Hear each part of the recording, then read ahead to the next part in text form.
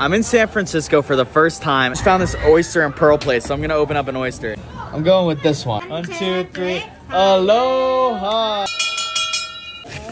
right, come on, give me a good one. That's a nice pearl. I don't think I want you to pull a hole in it.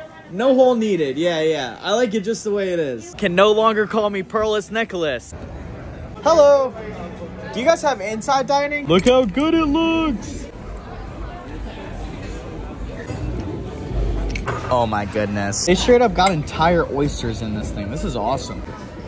If I eat this, my mouth will be on fire.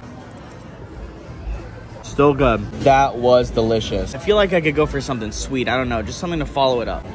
Oh, thank you. You're welcome. Marcos! The perfect end to a perfect San Francisco night.